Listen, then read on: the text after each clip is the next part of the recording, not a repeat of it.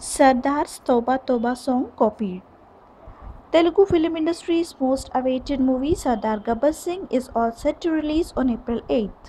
Meanwhile, the trailer that released created a new record and audio has hit the markets and is setting another new record.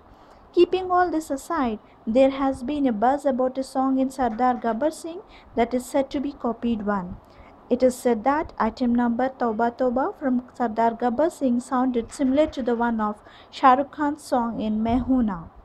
When this news has been shared with Pawan fans, they simply took the matter lightly by saying there are tunes that match at certain instants some or the other time with other song, so need not extend the matter.